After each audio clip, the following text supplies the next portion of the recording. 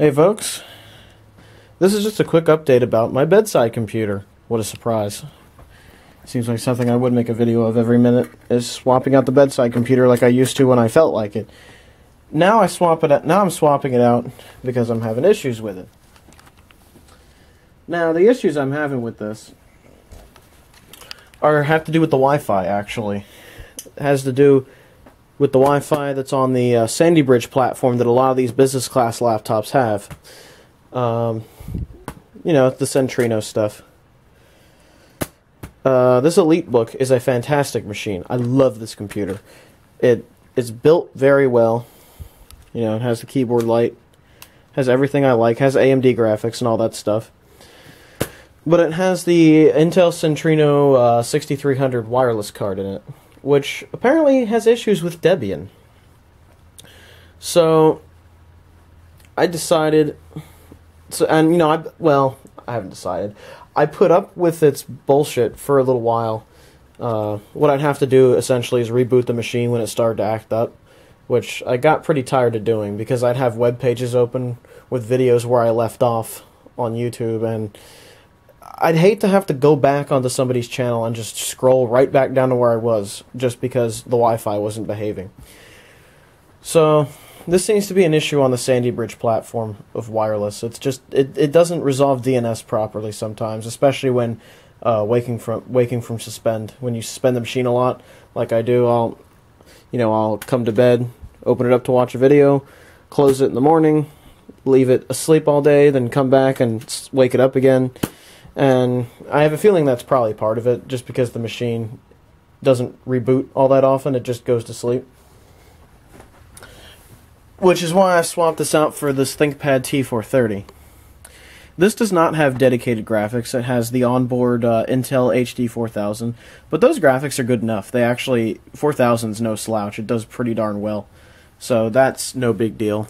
Uh, it all, this is also an Ivy Bridge machine, which uses a completely separate wireless card. Let me turn the brightness up so you can see what I'm talking about. Let me uh, to LSPCI here, and you can see that it, instead of instead of the Centrino 6300, it uses the Centrino 6205, which is a completely different card and seems to behave a lot better in uh, this version of Debian I'm using, Debian 8 with the Linux 3.16 kernel. Uh, it just behaves better. Plain behaves better. And, you know, I can put the machine to sleep, wake it back up, and it'll work right away. Whereas if I wake this machine up, I have to let it sit for a little while and contemplate before it will get a, a good internet connection. So, I think that this this has to do with the kernel version that Debian is using right now. I bet if I used Ubuntu or something that had a more up to date kernel, that issue would not be there.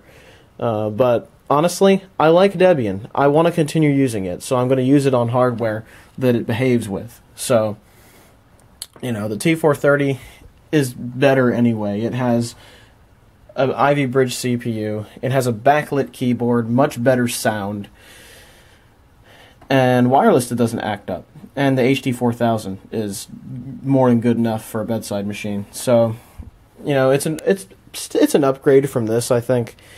Um, I wasn't planning on using this as a bedside computer, but it actually makes a really good one, mostly because of the much improved sound and uh, the backlit keyboard. You know, it's a pretty great machine for that purpose. So, you know, this this change ended up being a positive one in the end. Hopefully, in the next version of Debian, that stupid bug with the wireless is fixed because it's pretty annoying. Uh, but it doesn't have that issue in Windows, so this HP will probably become a Windows 10 machine and it runs it quite well, so that'll be nice. But this ThinkPad T430 is now the bedside machine. I guess I'll show you the specs of this thing just so you're familiar with it. Alright, this uses a uh, an Intel Core i5 3320M at 2.6 gigahertz, and of course I have 8 gigs of RAM in this machine.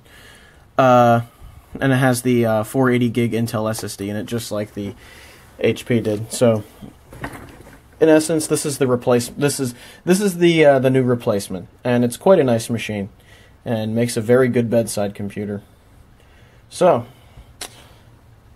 this is not the most interesting video in the world either. I just thought I'd update you guys on that, and maybe maybe those of you out there that use Debian are having similar problems that I am with the Intel Centrino 6300 wireless card.